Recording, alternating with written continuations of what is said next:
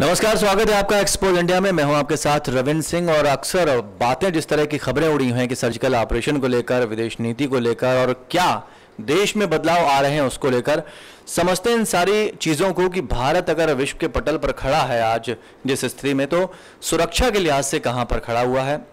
कितनी कारगर रही ये हमारी जो सर्जिकल स्ट्राइक है हमारे सैनिकों द्वारा? क्या इसका असर विदेशों पर पड़ा है? क्या सोच बदली है भारत के प्रति? इन सारी चीज़ों को हम जानते हैं। विशेषज्ञ के तौर पर हमारे साथ इस वक्त मिस्टर विष्णुकांत चतुर्वेदी हैं जो कि रिटायर्ड लेफ्टिनेंट जनरल रहे हैं। सर बहुत बहुत स्वागत करते हैं आपका एक्सपोज इंडिया में।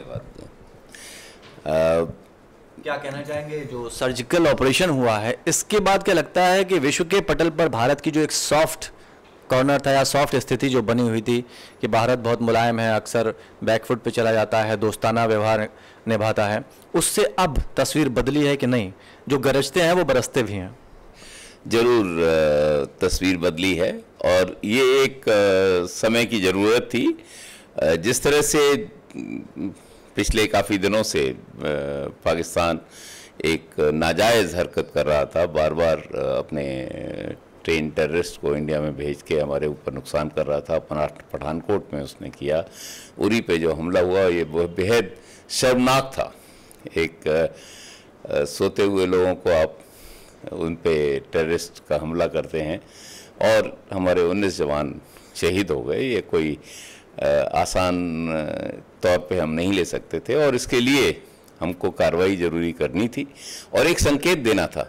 संकेत देना बहुत ज़रूरी है और सही तरह से सही समय पे देना है क्योंकि अगर हम इसमें डिले करते तो उसका जो इफ़ेक्ट था वो नहीं रहता। लेकिन जो सही समय पे जो 18 तारीख को जो ये हादसा हुआ है और हमने 28 और 29 की रात को इसका बिल्कुल ठीक तौर पे एक अच्छी ऑपरेशन करके जो कि एक ऐसा ऑपरेशन था जो कि हाईएस्ट लेवल पे प्लान किया गया जिसमें तमाम agency intelligence agency surveillance agency satellites इन सबने हिस्सा लिया। और डिसीज़न देश की हाईएस्ट जो डिसीज़न मेकिंग बॉडी है उसने हमारे प्राइम मिनिस्टर ने कैबिनेट कमेटी ने डिसीज़न लिया। तो इन सब चीज़ों की वजह से जो एक अफेक्ट आया है जो सर्जिकल स्ट्राइक का सही संदेश जाना चाहिए था वो गया है। अगर आ, पाकिस्तान कहता है कि सर्जिकल स्ट्राइक नहीं हुई ये हमको सूट करता है। क्योंकि फिर दोबारा भी अगर ऐसा मौका आएगा हम दोबारा करेंगे। और पाकिस्तान फिर यही कहेगा कि यहाँ कुछ नहीं हुआ। हमारा इसमें जो हमारा मकसद है वो हमेशा अचीव होगा क्योंकि जिस लोअर लेवल पे जिस लेवल पे जो हमको परेशान करते हैं हमारे ऊपर गलत तौर तरीके से नाजायज़ हरकत करते हैं उनको संदेश हमने देना है वो हमेशा जाएगा क्योंकि उन पर तो इफ़ेक्ट पड़ेगा। लेकिन एक, लेकिन एक चीज़ देखा जाए कि विश्व के पटल पर पहली बार बैकफुट पर गया पाकिस्तान। उनकी समझ में नहीं आ रहा था कि हम क्या करें। लेकिन अगर युद्ध की स्थिति बनती है तो हम कहाँ स्टैंड करते हैं और पाकिस्तान कहाँ पर स्टैंड करता है? क्योंकि अक्सर पाकिस्तान परमाणु बम की धमकी देता है।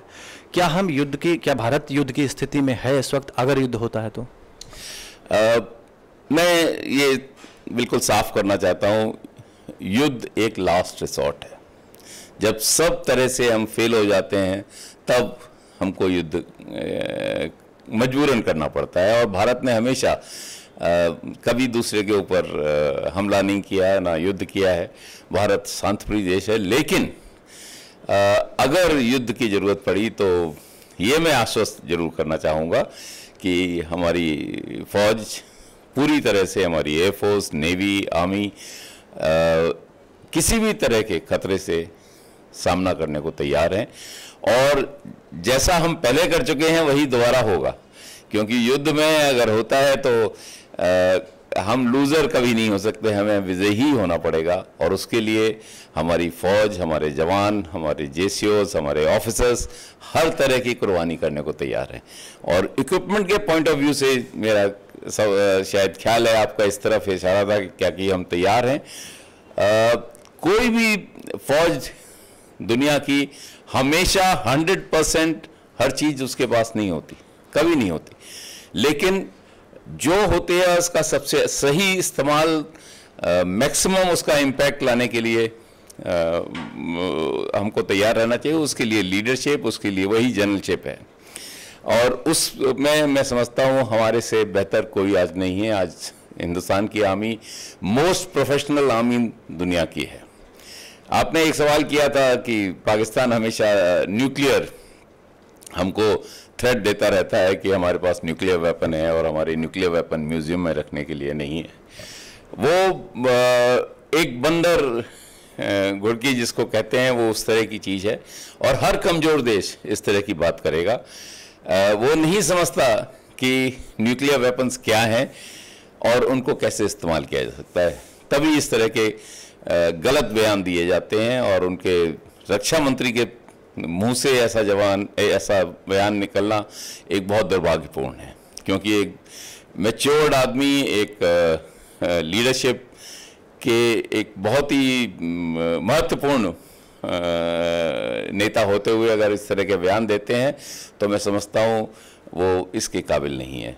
रक्षा मंत्री लेंगे बिल्कुल, लेकिन जिस तरह से सर्जिकल ऑपरेशन को अंजाम दिया गया, इससे पहले इतना दृढ़ निश्चय कभी नज़र नहीं आया। पिछली पार्टियों में भी देखा गया, ऐसा कहा जाता रहा। और पॉलिटिकल व्यूज़ भी जिस तरह से आए, वो भी कहीं ना कहीं सोचने का विषय बन गए कि क्या इस तरह के व्यूज़ देने चाहिए।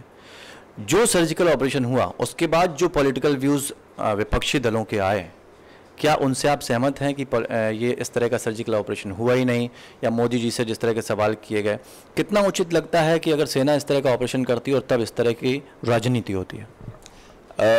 एक फौजी के लिए ये बहुत दुर्भाग्यपूर्ण है जब वो इस तरह की बातें अपने ही लीडर्स और अपने ही पॉलिटिकल पार्टी से जब इस तरह की स्टेटमेंट और बयानबाजी सुनता है। क्योंकि जब ऐसे समय में जो कि फौज ने जी जान लगा दी है ऐसा आ, महत्वपूर्ण ऑपरेशन, ये एक छोटा मोटा ऑपरेशन नहीं था। इसमें अगर गलती होती तो मोदी साहब को लोग, हर जो भी लीडर है मोदी साहब ही नहीं, कोई भी प्राइम मिनिस्टर होता, उसकी ऊपर, उसको अकाउंटेबिलिटी पूरी उसके ऊपर डालते।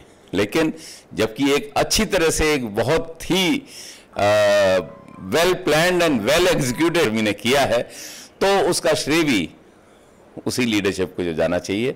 जो भी गवर्नमेंट होगी अगर वो इस तरह के निश्चय लेती है तो बहुत बड़ा काम है, बहुत बड़ा डिसीज़न है, एक छोटा मोटा डिसीज़न अगर उन्होंने इस तरह का बोल्ड डिसीज़न लिया है इंडियन आर्मी ने तो अपना कर्तव्य किया है। वो किसी भी समय अगर उस पर ऊपर विश्वास किया जाएगा, वो हमेशा इस तरह का रिज़ल्ट प्रोड्यूस करेगी। लेकिन लीडरशिप है, जो कि हमेशा थोड़ा कतराती है इस तरह के बोल्ड डिसीज़न लेने में। वो अपनी आर्मी के ऊपर पूरा विश्वास नहीं रखती। तभी ये वो डिसीज़न नहीं ले पाती। लेकिन यहाँ पे हमारी आज की जो गवर्नमेंट जो कि नरेंद्र मोदी जी की गवर्नमेंट है, उन्होंने आर्मी पे पूरा विश्वास किया और एक दृढ़ निश्चय के साथ उन्होंने उनको बोला कि यस गो हैड और ये चीज़ कहने के लिए बहुत ही जज्बा चाहिए, बहुत हिम्मत चाहिए। और उसको अगर ये ऑपरेशन अगर भाग्यवश या दुर्भाग्यवश मैं कहूँगा सही तौर पे नहीं संकेत दे पाता तो उनको उसको तो उनको संदेश अगर नहीं जाता ठीक तो उसका जिम्मेवारी भी उनको लेनी पड़ती। लेकिन एक चीज़ उनको अगर ब्लेम किया जाता है किसी पॉलिटिकल पार्टी की तरफ़ से कि वो इसका श्रेय ले रहे हैं तो ये गलत है। श्रेय हमेशा पॉलिटिकल लीडरशिप को, क्योंकि इंडियन आर्मी यहाँ पे सब इंडिया एक बहुत बड़ी वाइब्रेंट डेमोक्रेसी है। हम पॉलिटिकल लीडरशिप के अधीन काम करते हैं और पॉलिटिकल लीडरशिप ने अगर कोई दृढ़ निश्चय करके कोई डिसीज़न लिया है तो उसको श्रेय मिलना चाहिए। लेकिन एक सवाल अक्सर आर्मी के ऊपर उठते रहे हैं कि क्या हमारे यहाँ चूक हुई? कारगिल जैसा युद्ध हो गया, हुआ क्यों? अगर अंदर घुसकर आतंकी हमारे सोते हुए जवानों पर हमला कर गए तो ऐसा हुआ क्यों? क्या लगता नहीं सुरक्षा के लिहाज से कहीं ना कहीं चूक हुई है और सेना को इस तरफ़ ध्यान देना होगा?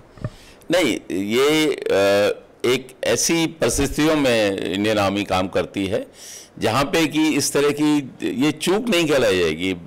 बेस्ट ट्रेंड आर्मी भी जो होगी, उसके भी इस तरह का हादसा हो सकता है। और हमेशा हम अटेंटिव हो, होते तब भी नहीं, और इस टाइम में एक ऐसा समय था जब दो बटालियन एक दूसरे को हैंडिंग टेक ओवर का समय चल रहा था। थोड़ी सी उस वक्त आ, ये अकाउंटेबिलिटी की कमी हो जाती है। वो सोचता है वो कर लेगा वो सोचता है वो कर लेगा। ये नहीं कि दोनों आ, करने के काबिल नहीं है और तैयार नहीं थे। लेकिन वो दोनों के बीच में जो एक अकाउंटेबिलिटी की बात आती है वो दोनों सोचते हैं कि वो कर लेगा वो कर लेगा तो उसमें थोड़ी गलती हो सकती है। लेकिन मैं समझता हूँ ये चीज़ ऐसी नहीं है कि किसी प्रकार से इंडियन आर्मी का गार्ड कम था या किसी तरह से उन्होंने अपने आप को ढील दे रखी थी? नहीं। ये हादसे हर जगह हुए हैं, हर आर्मी में हुए हैं, बेस्ट ट्रेन पीपल में हुए हैं, होता है। जब हम इस तरह जोखिम भरे काम करते हैं तो एक दो चीज़ें कहीं पे गलत भी हो, लेकिन ओवरऑल हमारा एम जो है, वो हम हमेशा अचीव करेंगे। लेकिन सुरक्षा के लिहाज से अगर हम देखें कि चाइना की तरफ़ थोड़ा सा अगर मूव करें तो उस तरफ़ उस तरफ़ हमारी आर्मी की सोच क्या होती है? क्या वहाँ पर उस योग्य हैं अगर चाइना की तरफ़ से कोई कार्रवाई होती है? क्योंकि अक्सर देखा जाता है कि शीत युद्ध तो चलते ही रहता है। विद चाइना हमारा कोई इस तरह का सीमा पे विवाद नहीं है, ना फायरिंग होती है। लेकिन कुछ परसेप्शन ज़रूर अलग है कि हमारी बाउंड्री लाइन यहाँ से जा रही है, क्योंकि जो हमारी सीमाएँ हैं वो वेल मार्क नहीं है। तो कभी कभी हम उन, उनके इलाके में जो हम सोचते हैं कि हमारा है उधर चले जाते हैं। कभी कभी वो भी ये सोच के कि ये इलाका हमारा है इधर आ जाते हैं। लेकिन जब उनको बताया जाता है कि नहीं ये सही है तो फौजें वाप, वापस अपनी अपनी जगह चली जाती हैं। दूसरी बात आपका जो एक इशारा है कि सीमा को लेके शायद चाइना भी चीन भी हमारी तरफ़ कुछ गलत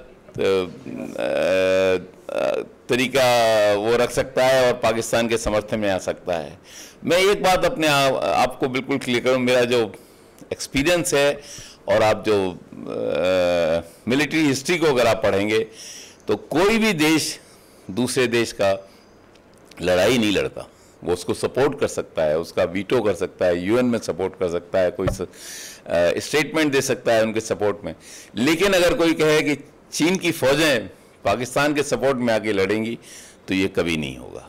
पाकिस्तान को अगर कुछ करना है, अपने बलबूते पे करना है, और ये उनका बहुत बड़ा मिसकंसेप्शन है। वो समझते हैं कि चीन हमारे उसमें आएगा ये कभी नहीं आएगा। ये उनको अपने हृदय पटल से मिटा देना चाहिए। अगर लड़ने के काबिल हो अपने पैरों पे मज़बूत होके खड़े होके हिम्मत रखो तब आओ। हमारी विदेश नीति को लेकर जब आम जनता से बात की जाती है तो वो कहीं ना कहीं क्वेश्चन मार्क लगा रहता है वो नहीं समझ पाती थी। लेकिन अब हमारी विदेश नीति अगर देखा जाए तो क्या है और किस कदर हम इसको आगे बढ़ा रहे हैं? हमारी विदेश नीति बहुत अच्छी है। हम अपने आप को एक इंडिपेंडेंट नेशन हम नॉन अलाइन किसी भी ग्रुप के साथ अलाइन नहीं है। हर एक से हम मैत्री का रुख अपनाते हैं। हम किसी के प्रति कोई गलत व्यवहार नहीं करते। और हर एक की मदद करने के लिए तैयार रहते हैं। अब ये हमारा दुर्भाग्य है कि हमारे एक वेस्टर्न बॉर्डर पे पाकिस्तान जैसी, जैसा एक देश है जो कि सही तौर तरीके अपनाना ही नहीं जानता। लेकिन आप देख लीजिए बांग्लादेश के साथ हमारे बहुत अच्छे संबंध हैं हमारे नेपाल के साथ अच्छे संबंध हैं म्यांमार के साथ हमारे श्रीलंका देख लीजिए। और भी सेंट्रल एशिया में देख लीजिए यूएसए के साथ देख लीजिए यूएसएसआर के साथ ही और यही एक कारण है कि जब ये आ, सर्जिकल स्ट्राइक हुआ तो सब देशों ने हमारा समर्थन किया पाकिस्तान अकेला पड़ गया। पाकिस्तान एक तरह से उसको कोई सपोर्ट करने के लिए मुस्लिम देशों ने नहीं किया, बताइए। तो ये हमारी विदेश नीति की एक सफलता है। तो सर्जिकल ऑपरेशन को लेकर कहा जा रहा है, परिकर जैसे व्यक्ति थे, वहाँ पर मोदी जैसे व्यक्ति थे। तो क्या लगता है कि ये एक, कहते हैं कि कोई भी अच्छा संस्थान भी तभी चलता है जब वहाँ का स्टाफ अच्छा होता है? तो क्या हम ये माना जाए कि सबकी सोच कहीं ना कहीं एक जगह जाकर स्थिर हो गई थी, जिस वजह से ये सर्जिकल ऑपरेशन जो है कामयाब हो सका? इस बात से मैं बिल्कुल आपकी एग्री करूँगा कि जब सब जो भी डिसीज़न मेकिंग है एग्जीक्यूशन में है, जो मिलिट्री लीडरशिप है, ये सब एक तरह की सोच रखेंगे, एक तरह के विचार रखेंगे और सब अपनी ताकत को पूरी झोंक देंगे, तभी सफलता हासिल होती है। और इस सर्जिकल स्ट्राइक में इस तरह का टोटल जो आप समन्वय समझेंगे, वो था। हमारे रक्षा मंत्री जी, हमारे प्रधानमंत्री जी, बाकी जो एजेंसीज थी, जिन्होंने इंटेलिजेंस इनपुट दिए, जिन्होंने सर्वलेंस इनपुट दिए, इन सबने और उसमें भी जिन्होंने की डिसेप्शन प्लान किया। ये एक बहुत अच्छा डिसेप्शन का एग्ज़ाम्पल है, जिसमें आप देखिए कि सात आठ दिन तक कुछ नहीं आया। फिर प्रधानमंत्री ने एक इंडस वाटर टीटी के ऊपर मीटिंग बुलाई। फिर मोस्ट फेवर्ड नेशन के बारे में मीटिंग बुलाई। उसके बाद सात देशों के बारे में एक मीटिंग मीटिंग बुलाई। इससे सबने सोचा कि कुछ नहीं होगा बस ये सब चीज़ें डिप्लोमेटिक तरीके से सु, सुधारी जाएँगी। और उसी दौरान जब गार्ड्स डाउन हो गए पाकिस्तान के हमने अटैक किया और बहुत ही सर्जिकल स्ट्राइक एक इतना सफल ऑपरेशन है कि मेरा सर ऊँचा हो जाता है और मैं उन सबको बधाई देता हूँ हर जवान के जो हौसले को मैं सलाम करता हूँ। बहुत बहुत शुक्रिया सर हमसे बात करने के थैंक यू थैंक यू तो आपने देखा कि सर्जिकल स्ट्राइक के तौर पर पाकिस्तान को एक सोची समझी रणनीति के तहत मात दी गई और पाकिस्तान पूरे विश्व में अलग थलग पड़ता हुआ नज़र आया। और आगे भी अगर ऐसी कार्रवाई की बात हुई तो भारत ऐसी कार्रवाई करने से नहीं चुकेगा। साथ ही एक सोच के लोग अगर मिल जाते हैं तो निश्चित रूप से कोई भी ऑपरेशन क्यों ना वो सफल होता है। बहुत बहुत शुक्रिया। देखते रहिए एक्सपोज इंडिया